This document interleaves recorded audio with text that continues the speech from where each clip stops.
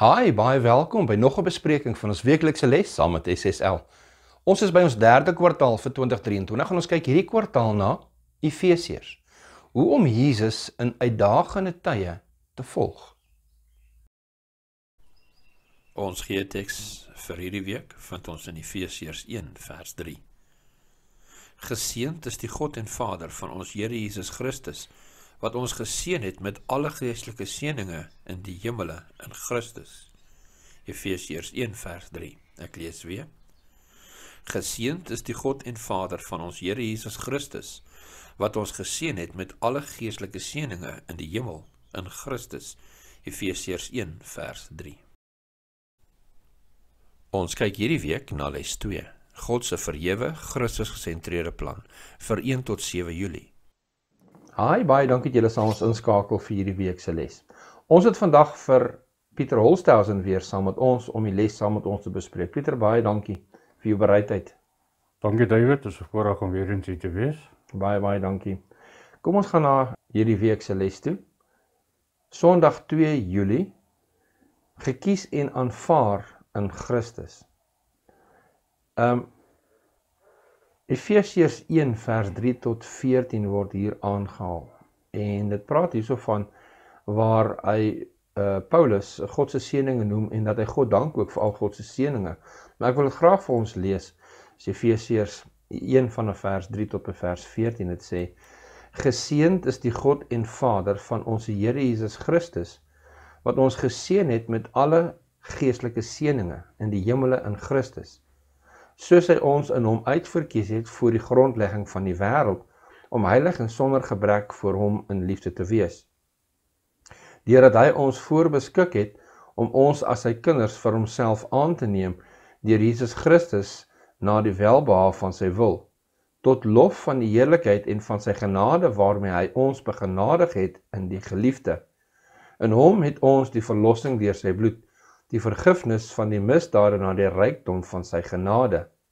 Hy wat oorvloedig aan ons bewys het in alle wysheid en verstand, deurdat hy aan ons die verborgenheid van sy wil bekend gemaak het na sy welbehae wat hy in homself voorgenem het om die volheid van die tye te reël met die doel om alle dinge wat in die hemele sowel as wat op die aarde is onder een hoof in Christus te verenig.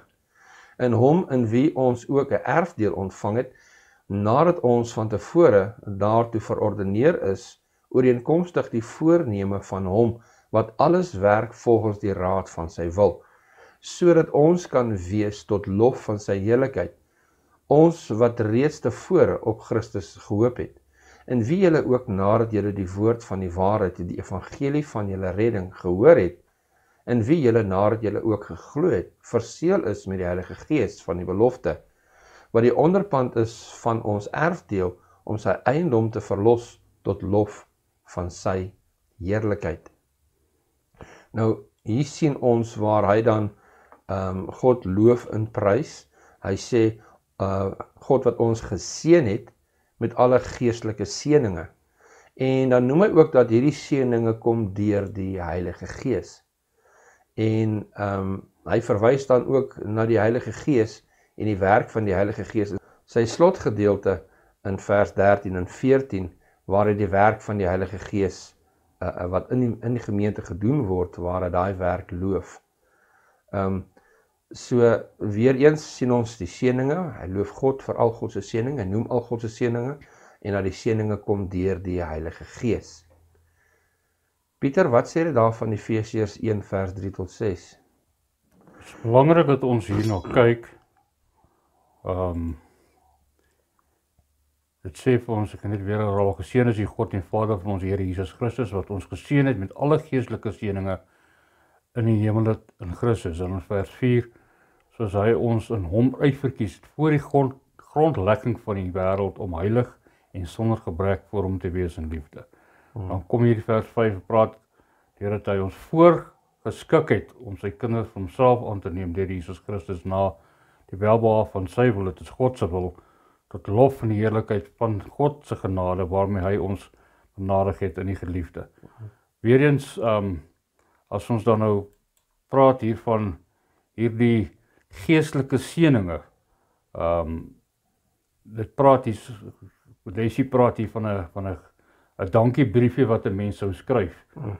Waar 'n mens dan aan die gewer van hierdie uh geskenk sal jy nou as dit nou 'n enkel geskenk is of geskenke soos in Paulus se geval waarop hy verwys na verskillende geskenke uh geestelike geskenke wat ontvang is. Um dit sê omdat die seëninge geestelik uh, ges, uh, is suggereer dat die ons die gees kom verwys na die slotgedeelte waar ons ook jy verwys het in, in Efesiërs 1 uh 13 en 14. Maar dit praat hier van die die werk van die Heilige Gees in ons lewens uh, as gelowiges. En dit is uiters belangrik um as ons kyk na uh hierdie gawe. God het vir ons hierdie gawe geskenk. So wanneer ons tot insig kom van van die van die waarheid dat ons dan nou ehm um, sal insien dat dit vir tot ons voordeel is en dat ons ook kan weet dat ons nie deur ons eie kragte uh tot redding kan kom nie, maar alleenlik deur die wil van die Heilige Gees. En dit is so belangrik om dit te onthou dat jy want ons kan nie uit ons eie uit kan ons nie hierdie gawe ontvang nie. Mm, mm. Ehm um, hy noem ook hoe God ons sien. Mm. Ehm um, heilig en sonder gebrek. Mm. Maar in Christus. Sit in die woordigheid, ja. In Christus. Ja. Want is Christus wat nou voor die Vader staan. Hy staan Amen. in ons plek. Amen. En ons lees dit in Efesiërs 1 vers 4. Hmm. En dan kan ons ook gaan kyk na Efesiërs 5 vers 27. Hmm. En dan sê die les hierso, nog voor die son uh begin skyn het, was dit sy strategie dat ons begenadig sou wees in die geliefde. Hmm. Efesiërs 1 vers 6 en daai in die geliefde is in Jesus Christus. Christus ja. So kortliks, dit is God se voorneme dat ons gered word. Ons verbeer verlossing net deur ons eie sondige keuses. Amen. So dis die God wat wat ons laat verlore gaan en ons gaan nou 'n bietjie daarna kyk, maar mm. dis deur ons eie sondige keuses, né? Dis reg. Dan word hier nou 'n vraag gevra. Dit sê wat beteken die sinsnede in die hemele? Mm. Soos in Efesiërs daarna verwys word en mm. ehm um, ook die enigste plek waar dit in die Nuwe Testament gebruik word is hier so in die boek Efesiërs. Mm bestudeer die gebruik van die sinsnede, die sinsnede wat sê in die hemele. Mm. En dan sien jy nou 'n hele paar teksverse wat hulle hierso vir ons aanwys. Um ek sal gaan kyk na Efesiërs 1 vers 3 en vers 20. Sal jy vir ons 2 vers 6. Mm. Dan sal ek 3 vers 10 en dan doen jy weer 6 vers 12. OK. En dan sê ons moet hierdie vergelyk met 3 vers 15, ja. 4 vers 10 en 6 vers 9. Dis reg. So kom ek kyk nou na Efesiërs 1, sê hulle daar vers 3, nê?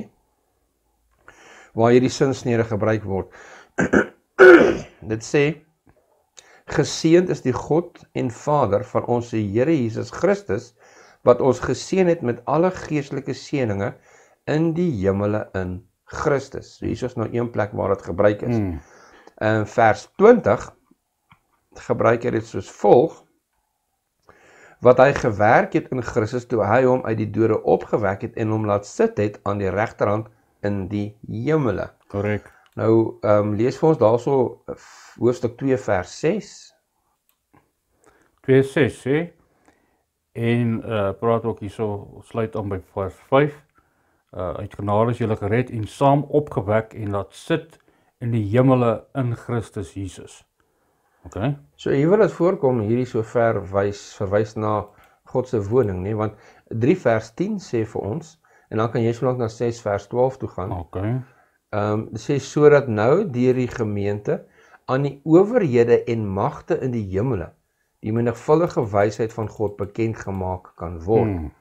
Nou hierdie owerhede en magte word nou herhaal in Hoofstuk 6 vers 12 en daar praat dit van 'n anderste tipe hemele waarna verwys word, né? So dit sê ons worstelstryd is nie teen vlees en bloed nie, maar teen die oorwinne, teen die magte, teen die wêreld, die heersers van die duisternis van hierdie eeu, teen die bose geeste in die lug. Verwys ook dan nou na 'n plek. Ja. Ehm um, hulle sê ons nou nog verlyk met Efesiërs 3 vers 15. Dit sê uh van wie elke geslag in die hemele en op aarde sy naam ontvang. Hmm. Ehm um, kyk jy vir ons hoofstuk 4 vers 10 dan sal ek hoofstuk 6 vers 9 doen hoofstuk 4 vers 10 lees jy hom vir ons en lees ek hoofstuk 6 vers 9 hy sê vir ons hierso hy wat neergedaal het is dieselfde as hy wat opgevaar het bokant al die hemele sodat hy alles tot volheid kan bring. So weer eens praat dit hier van bokant al die hemele, opgevaar het bokant al die hemele. Mm. So dit is 'n spesifieke plek. Yes. Ehm um, 6 vers 9 sê en die Here doen dieselfde teenoor hulle en laat staan die dreigemente omdat julle weet dat ook julle eie Here in die hemele is en by hom geen aanneming van die persoon is nie. Ehm um, dis nou 6 vers 9. Ja. Nou dit sê Jesus is bo al die hemele. Hmm. Maar in 3 vers 10, ek moet net gou-gou weer na 3 vers 10 toe gaan. Mm. Het ek ietsie opgetel daarso? sodat nou deur die gemeente aan die owerhede en magte in die hemele. Nou hierdie hemele is 'n meervoud. Ja. Ja, hemele ja. Dis 'n hemele. So hierdie is 'n meervoud. Mm. En op praat van die owerhede en die magte in die hemele. Mm. En hierdie hemele is baie duidelik dan die geestelike sfeer wil dit my voorkom. Mm.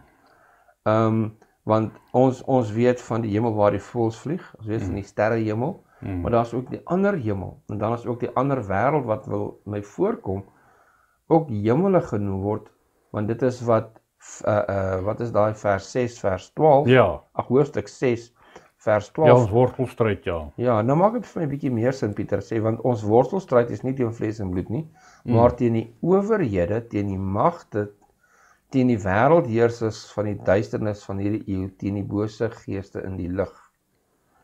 Maar hierso praat hulle van die bose geeste in die lig nê nee? maar gebruik hier dieselfde owerhede ja en magte as wat gebruik word in 3 vers 10 en in die ander ook in plaas van die hemele ehm um, dat ek dit seker maak word hier gesê geeste in die lig nou hoekom ons so 'n bietjie van ehm um, 'n bietjie meer 'n beter verduideliking hiervan wil probeer kry is hiersoos ietsie wat in die aan die die laaste sin van hierdie onderste paragraaf gesê word. Ehm um, en ons gaan nou daarna kyk, dan kan ons bietjie gesels daaroor. Maar Pieter het sê so dan in Efesiërs 1 vers 3 hmm. en 6 vers 9. Hmm. Sê dit hierso dui aan dat die hemel die woning van God is. Ja, né? Nee? En dis ook ehm um, die owerhede en magte in die hemel se domein. Dis nou volgens Efesiërs 1 vers 10. Ja. Want dit sê ook hierso dat ehm um, ook die ligging van Christus se verheerliking aan die regterhand van die Vader waarvan Efesiërs 1 vers 20 praat. Dan sê die les hierso gelowiges het nou toegang tot hierdie hemele in die sfeer waar geestelike seënings deur Christus aangebied word. So jy het 'n punt genoem dat wanneer ons bid dan ehm um, word ons nie ehm um, ehm um, die Here kom nie af na ons toe nie, maar ons word opgelig na die Here toe. Kom ons gaan na die vraag aan die einde van die dag toe. En die vraag aan die einde van die dag sê dink na oor Efesiërs 1 vers 4. Wat sê dit? Wat sê dat ons in hom Christus voor die grondlegging van die wêreld uitverkies is? Wat beteken dit? Hoe openbaar dit aan ons God se liefde vir ons en sy begeerte dat ons gered word. Nou Pieter, ek weet jy het 'n ander vraag wat jy vinnig hierso net wil aanraak, maar voor jy dit doen, voor die grondlegging van die wêreld af. Daar's 'n gedeelte waar dit in Openbaring sê dat ehm um, dit wil voorkom dat daar's mense wat se name uit die boek van die uit die boek van die lewe verwyder gaan word, né? Nee? Daar's ander gedeeltes in die Bybel wat ook so ietsie noem hmm. waar iemand uh uh, uh sê soos ja, dit was Moses gewees. Hmm verwyder dan maar my naam in die ja. boek van die lewe. Ja. So my voorkom elke persoon wat nog gebore was se naam is in die boek van die lewe geskryf en wanneer die groot oordeel kom en dan hulle gekies gesien is na watter kant toe hulle nou gegaan het, dan sal hulle boek uit die boek van die hulle naam uit die boek van die lewe uitgehaal word. Hmm. Maar hier praat van voor die grondlegging van die wêreld. Hmm. So voor die grondlegging van die wêreld het die Here 'n keuse gemaak, maar hierdie woord uitverkies, is dit dat hy gekies wie gaan gered word, wie gaan nie gered word nie. Kom ons gesels verder in die in die kommentaar gedeelte ja. hieronder oor hierdie uitverkiesing. Mm. Ehm um, gesels met ons, ons hoor baie graag van julle. Kom ons gaan na Maandag toe, 3 Julie, 'n mm. dierverlossing oorvloedige vergifnis. Mm. Uh Piet, sal jy vir ons Efesiërs 2 vers 1 tot 3 lees gehou asseblief? Seker, dit sê julle het hy lewend gemaak wat dood was deur die misdade en die sondes. Belangrik waarin julle tevore gewandel het volgens die hoop van hierdie wêreld, volgens die owerste van die mag van die lig, van die gees wat nou in die kinders van die ongehoorsaamheid werk. En dan sê dit verder onder wie ons almal ook vroeër gewandel het in die begeerlikhede van ons vlees, toe ons die wil van die vlees en van die sinne gedoen het en ons was natuurlik kinders van die toren net soos die ander. So hy praat hierso van hulle hulle, hulle vroeë bestaan. Ja. En hulle bes, vroeë bestaan beskryf hy dat hulle wat dood was deur die misdade en sondes. Sondes, ja.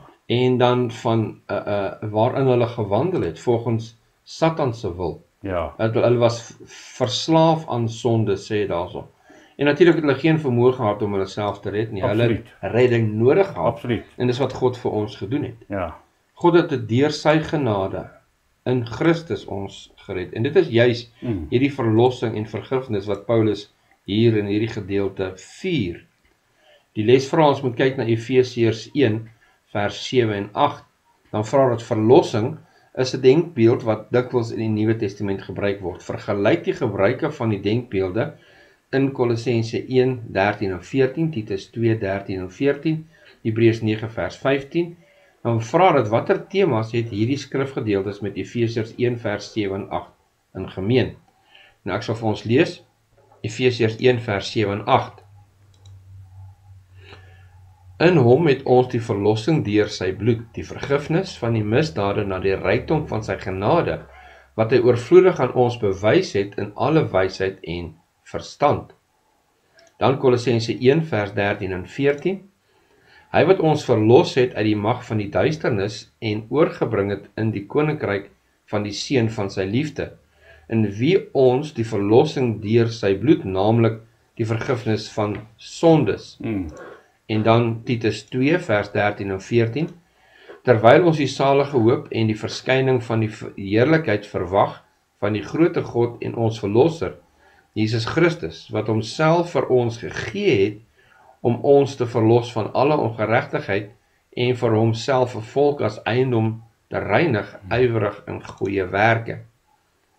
Um Hebreërs 9 vers 15 sê En daarom is hy middelaar van 'n Nuwe Testament, sodat terwyl daar 'n dood plaasgevind het vir die verlossing van die oortredinge onder die Eerste Testament, die wat geroepe is, die belofte van die ewige erfenis kan ontvang. Mm. So Mm. Pieter. Die sentrale tema hier is bloed. Mm. Sonder vergieting van bloed kan sonde nie uitgewis word. Die prys wat betaal Die is. prys wat betaal is. Ehm um, so weer eens ehm um, Christus het hier met sy bloed vir ons hierdie prys betaal. Daar's geen geen ehm um, verlossing of geen vergifnis wat ons op aarde kan ontvang wat ekwivalent hieraan kan wees. Mm. Hierso is 'n aanhaling hierso uit uh, Alistair E. McGrath. Kan jy hom vir ons lees? Ja, Hy sê wat sê dit daar? sê om verlos te wees is soos soos 'n mens om soos 'n mens behandel te word en nie 'n voorwerp nie. Dit is eerder 'n burger van die hemel as 'n slaaf op hierdie aarde te, te word. Amen. En ongelukkig weet baie mense nie dat hulle slawe op aarde is nie. Hierdie hierdie verlossing om soos 'n mens behandel te word. Ehm um, beskou mense nie as belangrik nie of hulle weet nie dat hulle slawe behandel word nie. Mm, dis waar. Die prys van van verlossing waarvan ons nou so baie gelees het in al hierdie Ja. verse. Ehm um, 'n mens sal sal dink maar die prys van verlossing word dan aan Satan betaal. En Hmm, dit is nie die geval nie. Dis Nee. nie wat dit sê nie. God skuld Satan niks en hy betaal hom ook niks. absoluut niks. Nee. Die voordele van Golgotha sluit ook die vergifnis van die misdade in sê dit vir ons in uh, Efesiërs 1 vers 7. So Christus betaal die prys vir ons sondes en wat 'n duur prys het hy nie betaal nie. Ja, en die uitwissing van dit totaal Ja. en al, ja. Ons sondes in die verlede en in die toekoms Amen. het hy voorbetaal. Amen. Die lesie sê hierso aan die einde deur Christus se werk van verlossing en vergifnis tree God as ons vrygewige Vader op na die rykdom van sy genade wat hy oorvloedig aan ons bewys het Efesiërs 1 vers 7 en 8. Hmm. Kom ons kyk na die vraag aan die einde van die dag. Hmm. Wat beteken dit vir jou dat jy deur Christus se versoeningsoffer vergewe en verlos is? Wat daarvan as jy onwaardig daaroor voel? Wenk. Jy is onwaardig. Dit is die hele doel met die kruis. En dis nogal waar, Piet.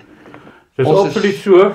Dis Elke dag waarheid. sien ek myself hoe onwaardig ek is die prys wat vir my betaal is. Ja, En tog het hy my so lief ja. dat hy my nie weggooi nie. Dis kom dit om die gevreesde mens ou wurmpie. Jy weet ons is Hy wurmpie, ons is ja. ou wurmpie. I mean, as as die Here my moet verwerp, sal hy regverdig wees. Ja. Hy sal regverdig wees. Ja. Maar tog pleit Jesus se bloed nog steeds vir my voor die troon van God. Dis Amen. hierdie oorvloedigheid, hierdie oorvloedigheid van hierdie van hierdie verlossing wat eh, mens in my verstand te bowe gaan. Dit is absoluut net fantasties. Kom ons gaan na Dinsdag toe, Dinsdag 4 Julie.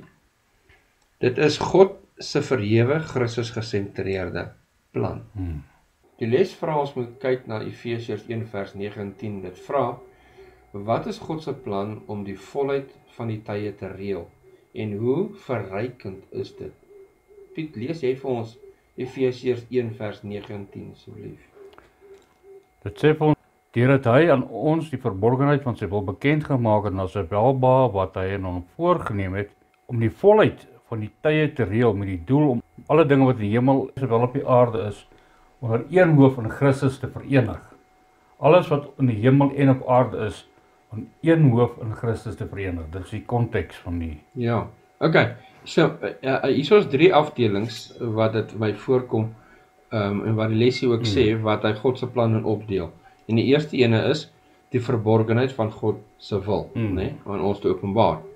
Die tweede is, is sy doel. ja, Hy konsentreer en hy wys die doel van God en dan 'n plan vir die volheid van die tye. tye ja. So God se uiteindelike finale plan is om alle dinge oral in Jesus te verenig, Amen. né? Nee? En alles onder een hoof te plaas in Christus. Hmm. Uh, wat so interessant is Piet is dit sê in die antieke ehm um, rekeningkunde praktyk wanneer hulle kolom opgestel het om ehm um, die getalle in te sit en dit Mm. alles aan op te tel. Nou in ons rekeningkunde vandag is die totaalkolom onder wat alles optel. Hmm. Daardie was dit bo gewees. Interessant, né? Ja. Nou, dis nou maar as 'n voorbeeld, net so is Jesus dan aan die hoof van hierdie finale eindtydplan van Ja. God. En is natuurlik 'n Christus gesentreerde plan wat Hmm. ook ons gesien het al voor die grondlegging van die wêreld in plek was. Hmm. En dit sluit in die volheid van die tydsede Hmm. En ook die ruimte. Alle dinge. Dit sê alle dinge in die hemele sowel as op die aarde. En dit is ehm um, hierdie eenheid wat in Christus wat Paulus hierso aankondig. En ehm um, wat hy as die verhewe goddelike doel vir die heelal beskryf. Iets wat my net toevallig byval ding David. Jy praat van alle dinge in die hemel. Is daar dan 'n gebrek in die hemel? Ja, daar's 'n gebrek in die hemel, maar die derde van die engele het saam met Satan uitgeval, Mm, mm. né? Nee? So daai daar dis ook tog nie soos God dit wou gehad het van die begin af nie. Ja, die plan van verlossing is nie net vir die aarde Nee. en nie geen op die aarde nie, dis vir die heelal. Die heelal. Daarom is hierdie verhewe goddelike plan vir die heelal, nie net vir die aarde nie. Dis 'n skouspel. Ja. Ja. Ek wil hierdie volgende paragraaf lees in die les hier. Dit sê die volgende. Ehm um, dit sê in sy bespreking van God se plan om die volheid van die tye te reël in Efesiërs 1 vers 10 verwys Paulus na die tema wat hy dwars deur die brief gaan gebruik. Hmm.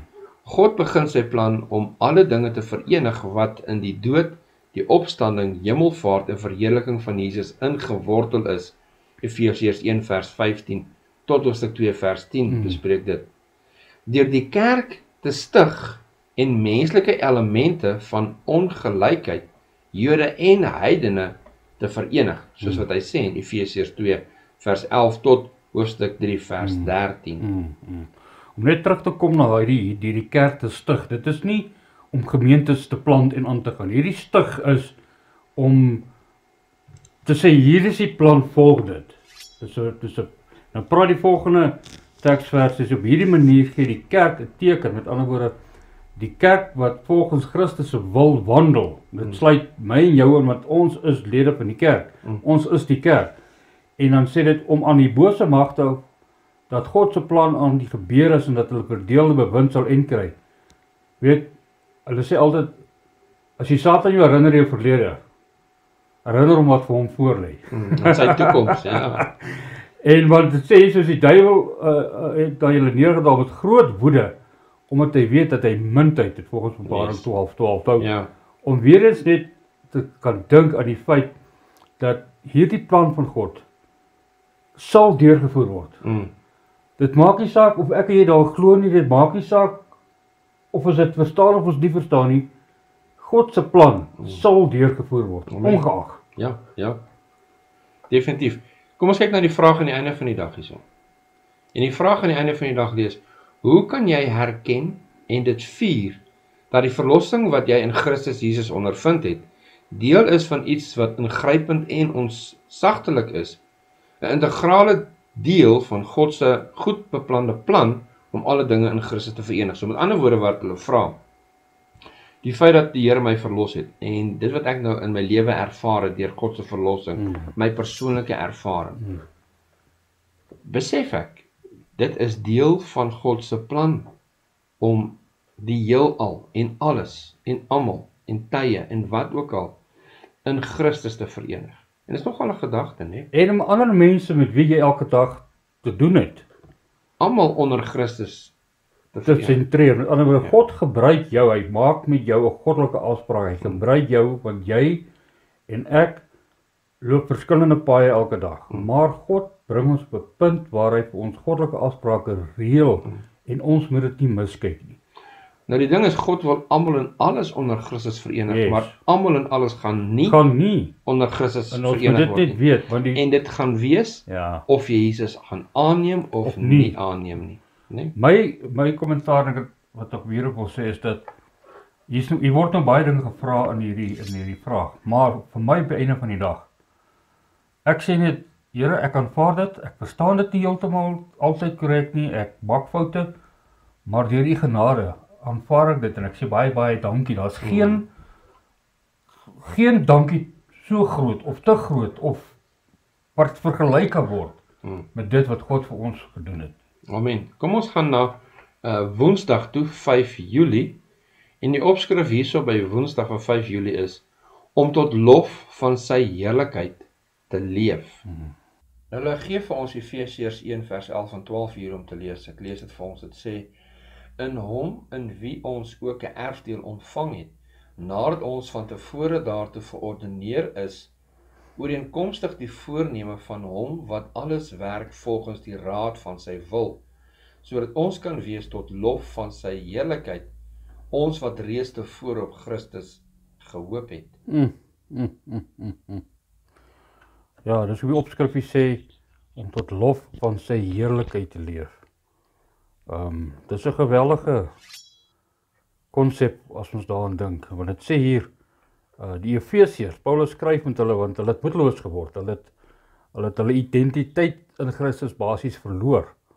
Ehm um, oor wie hulle in Christus is. En so mm. maklik kan ons dit ook verloor, David. Uh, dis dis so maklik. En dit sê hier Paulus wil as ons aanhaal hierso uh Efesiërs 1:5 Paulus uh wil weer hulle identiteit as Christen aanhelp aanhelp met ander woorde hy wil hulle weer bevestig en sê onthou julle dink bietjie daarna onthou julle julle en gelowige is nie slagoffers van toevallige willekeurige besluite wat deur verskillende geestes uh gode of geestes uit die buiteruim gemaak word nie hulle is kinders van God klaar Hmm. Amen. eh volgens Efesiërs 1:5. En nou vir my belangrik is sê dis hulle toegang tot vele seëning in Christus wat op die diep, diepsinnige voornemens en ewige besluite van God gegrond is. Wow, mind blowing, nee, dit is net een te veel. Dit sê dit is God se doel, sy aanbevelings en sy wil volgens Efesiërs 1:11 wat in hulle lewens teweeggebring word en wat met die voortdurende groter plan van God om alle dinge in Christus vereer verenig uh, uh ooreenstem soos ons al gelees het in, in Efesiërs 1 vers 10. Nou hierdie wat volgens my net so belangrik, hulle kan onwrikbaar en selfversekerd voel oor hulle verhouding met God en oor uitwerking van die seëning wat hy voorsien. Hulle lewens behoort die boodskap van hierdie gedeelte van die uh, van Efesiërs 3 tot 14 uit te besy. Met ander woorde, hierdie dankbaarheid wat ons ontvang. Mm. En dan sê hierdie hoofletter geseënd is die God die Vader van ons Here Jesus Christus. Dit is 'n dis 'n uitroep, dis 'n lofprysing. Dis 'n lofprysing. Mm. Maar besef ons dat ons teruggeroep word. En ek wil amper soos die Engelsman sê na ons basics toe. Dit wat ons ontdek het toe ons Christus ontmoet het. Dit wat ons ontdek het en die blyheid en die en die vreugde en die blydskap wat ons gehad het mm. toe ons hierdie boodskap ons eie gemaak het. En die Here wil sê die Here sê ook, weet Spreuke, hy sê ons bekommer ons oor te veel dinge. Weet die Here gee vir ons elke dag. Ons moenie worry oor ons môre gaan eet of drink. Die belangrikste is dat ons sal weet dat hierdie 'n fantastiese um verskil maak in elke mens se lewe as ons dit aanvaar. Amen. Uh die lesie sê hierso vergelyk die gebruike van die erfdeel gedagte in Efesiërs 1 vers 11, 14 en 18. Dan sê hulle waarom dink jy is hierdie gedagte vir Paulus belangrik?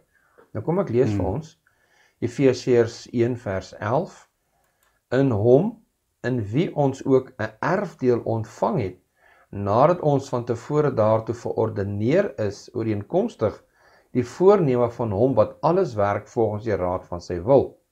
En dan vers 14 want die onderpand is van ons erfdeel om sy eiendom te verlos tot lof van sy heerlikheid in vers 18 hmm. verligte oë van julle verstand sodat jy kan weet wat die hoop van sy roeping en wat die rykdom van sy heiligheid van sy erfdeel onder die heiliges is. Hmm. Nou hierdie gedagte van erfdeel, dit sê hierso en so ook God se erfenis geword. So die Christene het nie net die dood van Jesus as erfenis ontvang nie, maar hulle het self ook die erfdeel van God geword. Dis ons soos in God se testament as 'n beginsel ingeskryf te word. Yes.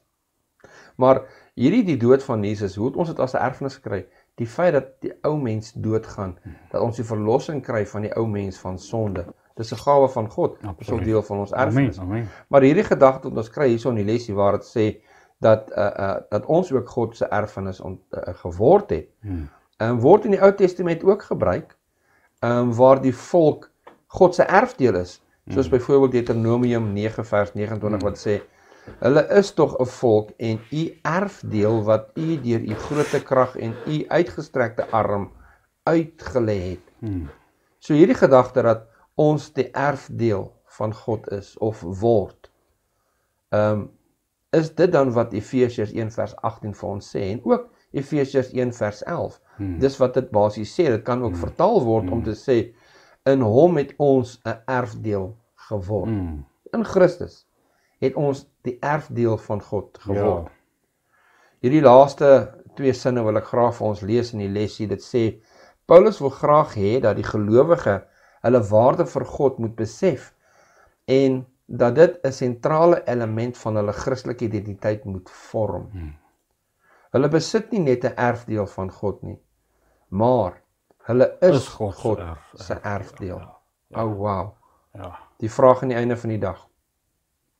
Wat is die verskil om vir iets te werk of om iets as 'n erfdeel te ontvang? Hoe help hierdie gedagte ons om te verstaan wat ons in Jesus ontvang het? Die ding wat sê dat as jy nie vir iets gewerk het nie, heg jy nie waarde daaraan nie. Dit kan ook waar wees. En as jy iets wat jy verniet ontvang het, ag ja, jy weet. Maar in hierdie geval is dit totaal en omgedraai. Ja. Né? Nee? Jy kan jy jy, jy kan nie hierdie gawe Jy kan nie vir dit werk nie.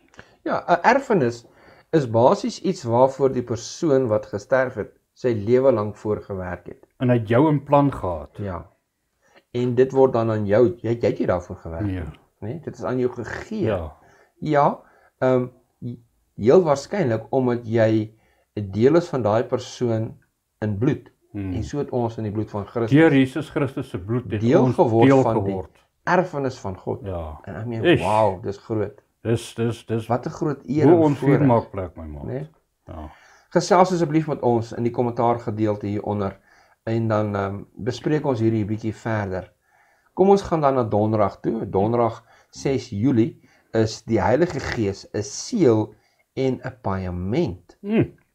Die lesie begin hier soos dit dit dit, dit sê in Efesiërs 1 vers 13 en 14 word die bekeringsverhaal van sy lesers deur Paulus opgesom. Dan vra hulle na watter stappe word daar in die verhaal verwys. Ag Piet lees vir ons bietjie daai Efesiërs 1 vers 13 en 14. Dit sê julle ook stap 1 nadat jy die woord van die waarheid evangelie van julle redding gehoor het.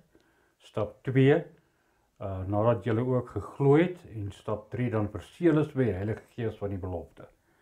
Waar die onderpand, die waarborg met ander woorde is van ons erfdeel om sy eiendom te verlos tot lof van sy heerlikheid. Ehm um, Ja, wat ook ja, jy weet Paulus skryf partykeer bietjie baie moeilik, maar as ons dit stadig gaan lees, sal ons die konteks van dit baie mooi kry. ja, die lesie stel dit baie mooi daai gedeelte ehm um, vir ons hierdie hierdie hierdie dag ehm um, wel vandag sal lees. Hmm. um, om die belangrikheid van die Heilige Gees in die uh, gelowiges se lewens te beklemtoon.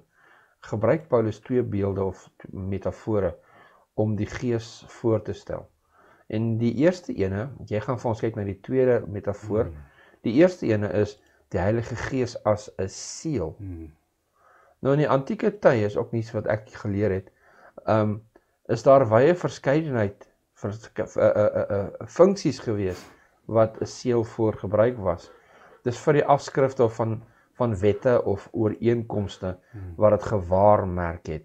Of dit was gebruik gewees op houers om hulle waarde of Hmm. hoeveelheid uh te wys. Hmm. So op 'n houer sal daar 'n seël wees en op die seël sal sê dis 5 liter of hier's 30 van hierdie goeders. Ja, soos 'n koning wat 'n brief stuur, druk Ja. sy ring in 'n in was as 'n Ja, seël dit in. is dis nou Ja. weer 'n ander gebruik wat Ja. hulle daarvan gebruik het Ja, ja, ja. vir die seël. Ah. Ehm dit is soos wat uh as 'n getuie uh ehm by 'n onderhandeling sou 'n Yes. seël gebruik het. Yes. Uh dit was gebruik gewees in kontrakte of in Mm. briewe Hmm. en selfs met testamente was dit gebruik gewees Hmm. om te bewys dat dit is 'n verseelde testament, dit is die uh oorspronklike testament van die skrywer. Ja, Ehm 'n seël vorm, ekskuus. 'n Seël word in die vorm van 'n stempel op 'n voorwerp ja. Hmm. gebruik. En wat dit basies doen, dit wys beide die eienaarskap en die beskerming Ja, die van die dokument, Ja, né? Nee?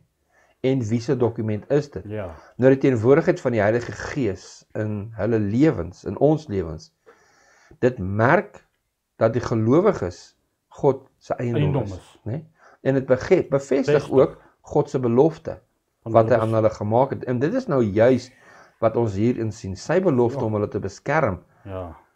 Wat sê dat ehm um, die Here ons sal beskerm, Efesiërs 4 vers 30. Dis daai seël. Daai seël van sy beskerming, dit is soos 'n belofte, soos Mm. Ja. jy gesê het in die begin, hè? Hmm. Dit bevestig dat hulle verseël is met die Heilige Gees Mm. van die Belofte. belofte sê dit vir ons. Ja. En dan hier's 'n aanhaling, lees hom gou vir ons asseblief. Dit sê Paulus gee eenvoudig te kenne dat die oomblik wat iemand sy of haar lewe aan Jesus toevertrou het en in hom glo, die Heilige Gees daardie gelowige in Christus vir die verlossingdag verseël. Dis net is wonderlik. Hm. Dit sê 'n wonderlike bevryding. Gerusstellende waarheid. Die Gees van God merk Christus se volgelinge met die seël van verlossing op die oomblik wat hulle die eerste keer glo. Dit word deur ons hierdie Moskala ehm um, kom uit die Adventist Technology Society is vry vertaal in 2017, maar dit is net absoluut ek het die Afrikaanse woord van ons mind blowing.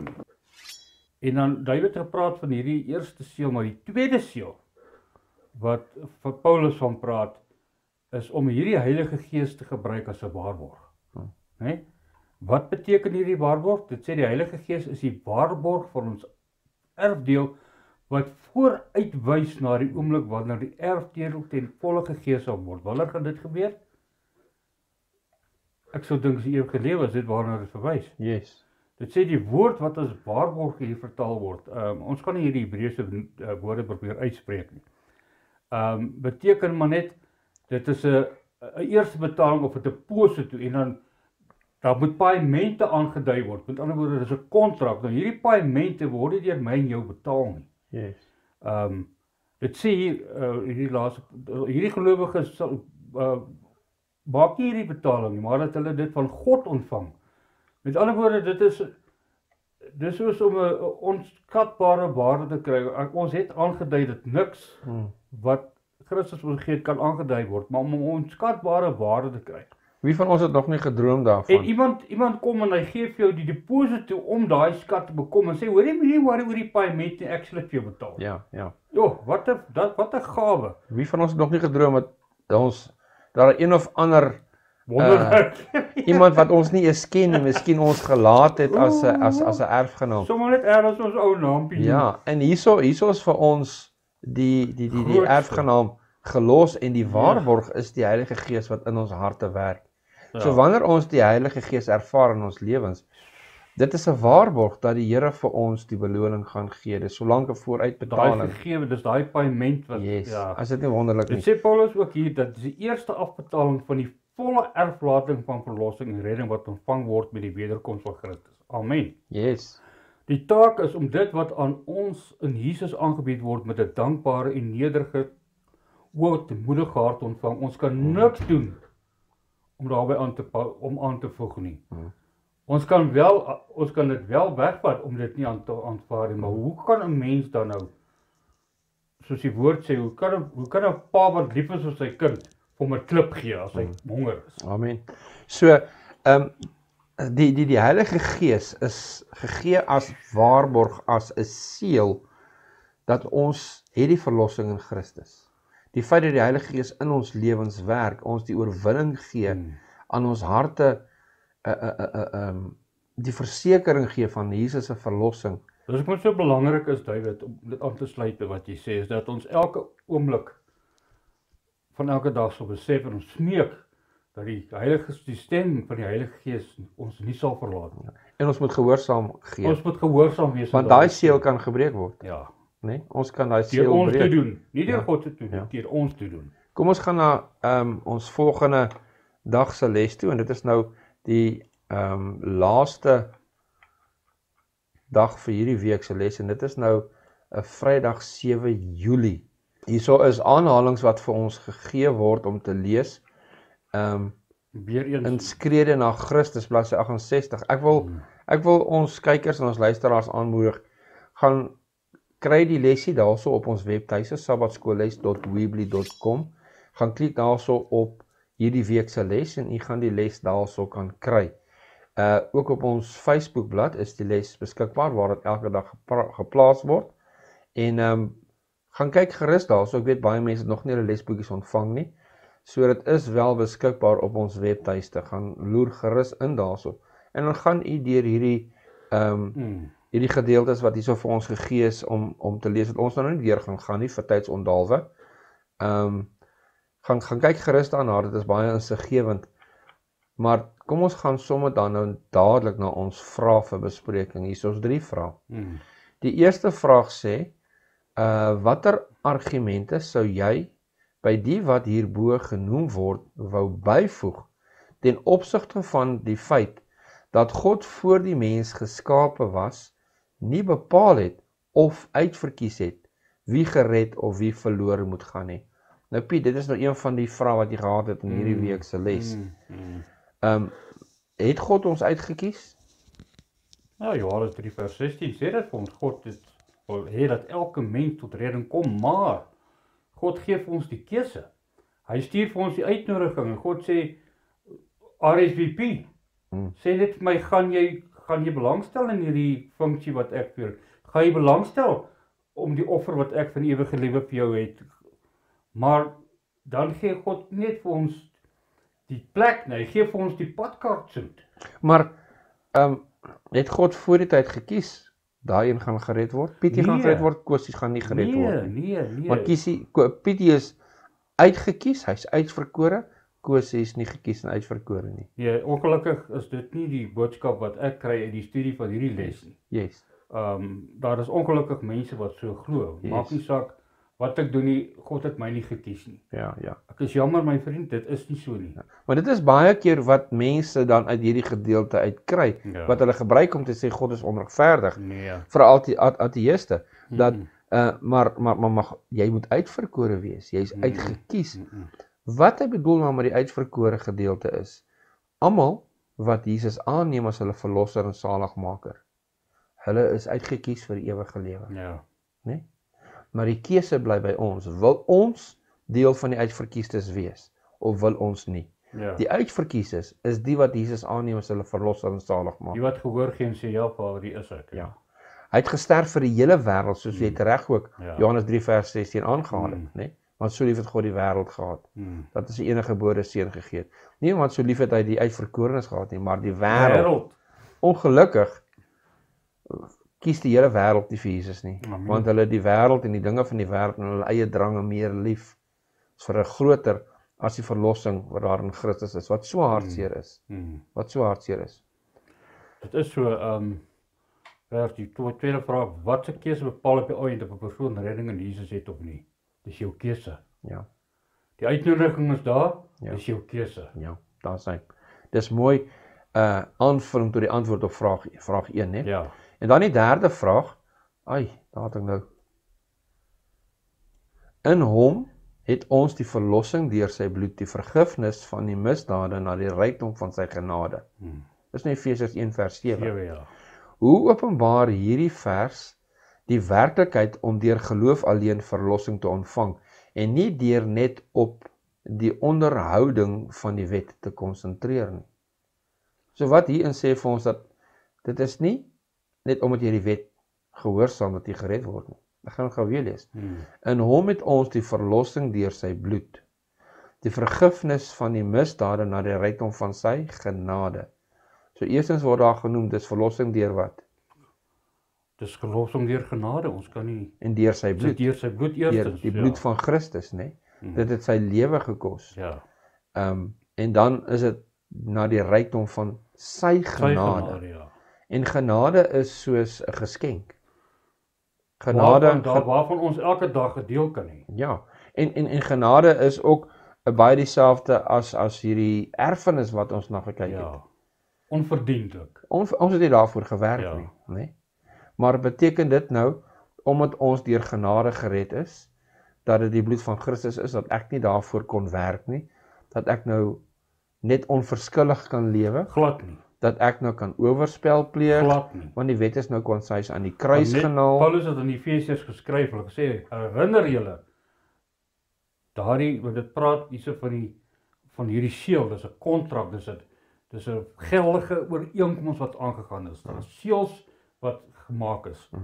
Ehm um, so dit is 'n dis 'n saak van absolute belang. Dit is. 'n dis 'n lewensnoodsaaklike besluit as ek dit so kan stel. Ja, ja. So ons is gered deur God se genade. Ons geskenk, reg? Ja, Ons kan nie daarvoor werk nie. Genade. Ja. Maar omdat hy ons gered het, Mm, omdat hy ons verlos het, is dit ons begeerte om sy wil te doen, ja. om in sy weë te wandel. Dit vra jy so weet ons onderhouding van die wet. Dis belangrik dat ons kyk na die onderhouding van die wet. Maar as jy lief is vir iemand, Dan gaan jy mos doen wat hy jy graag wil. nou dingetjies doen wat hom wat hom Tevrede stel. Ja, Dis hoe dis hoe enige ooreenkoms werk. ja, is uit liefde uit. 'n Man en vrou doen dingetjies vir mekaar, hulle het 'n sekere verstandhouding, hulle doen dit nie vir mekaar want dit bevorder dan die, die verhouding. Ja, Dis hoe dis hoekom en die feit van die saak is dis hoekom verhoudings vandag nie hou nie. Jy weet mense het 'n totale verkeerde idee. ja, as jy sien 'n mens vry na jou geliefde, Ja. as ek sê jy vry na hulle Ja. is Jy uh, uh, jy, um, ver- jy, jy sit die beste voetjie voor. jy soek guns. Ja. Ja. En jy sit die beste voetjie voor, maar nou is ons gewoonte in ons va- ge- gevalle toestand Mm. wanneer ons nou klaar die ring aangesit het en en en dan dan hou ons op om Hou ons romanties te wees. oop te maak. Hou ons op om die beste voetjie voor te sit, né? En dit is Ja. miskien hoekom die mense ook hierdie idee het Hmm. dat toe die Here vir my gesterf het, nou hoef ek nie meer uh, om gehoorsaam wees aan sy gebooie nie, want Nee, want want, want hy het nou ja. klaar vir my gesterf nie. Nee. Inteendeel, as ek vir my vrou die deur oopmaak, doen ek dit nie sodat sy met my sal trou nie, ek doen dit omdat ons getroud is. Dit jy omdat sy my vrou dit is. wys jy die verwantskap. Ja, omdat ek lief is Ja, vir haar, ja. omdat sy my vrou is. Amen. Ek onderhou die gebooie van God omdat, Omdat. hy my God is. Nie Hy is my nie, koning. Omdat. Hoe gaan ek nou wil sê Jesus is my koning, maar ek wil nie sy gebooie onderhou nie? Ja, Dit Ja. dit maak nie sin nie. Dit Dan nie is hy mos nou net die koning van my hart. Nie. Amen. Nee. Piet, baie dankie dat jy hierdie week se les weer saam met ons studeer het. Ehm um, dankie vir jou vir jou tyd Ja. en vir jou geduld met my. Nee, is maar reg, David. Uh, ek ek waardeer dit baie. ja. Sal jy asseblief vir ons afsluit met Ek gebed? maak so met Dankie. graagte. Here, hier gaan vir ons dinge oop in die boek van Efesiërs, Here, wat ons al so deel van ons lewe moet wees, maar Here wat ons dalk vergeet het. Soos Paulus ook die mense in Efesië herinner het, weet ons raak moedeloos, Here. Uh die pad wat ons wandel, Here, is dit die moeite werd om op hierdie pad vas te staan. Here, asseblief Laat ons net herinner word, Here, dat ons duur gekoop is deur die bloed en dat ons 'n kontrak met U het, Vader. 'n Kontrak wat geseël is deur die Heilige Gees, 'n kontrak wat geseël is met die bloed aan die kruis. Maar boonal, Here, dat dit U dit op ons harte en op ons verstand sal skryf dat ons dit soos die woord ook sê, dat dit met ons opstaan en ons ondergang dat ons gedurig daaraan sal dink. Here ons vra dat die Heilige Gees Here met ons harte sal praat. Ons vra Here dat as daar van die kykers Here wat wat probleme het Here dat hulle sal teruggaan na u woord toe sodat hulle kan weer eens herinner word aan die offer wat u vir ons gegee het Here om daardeur opgelig te word Here sodat ons nie in die besoedeling van hierdie aarde sal vaskyk nie. Ons dit in Jesus naam. Amen. Baie dankie Piet. Baie dankie dat julle saam ons ingeskakel het vir hierdie week se les. Tot volgende keer. God se ryke seën. Totsiens.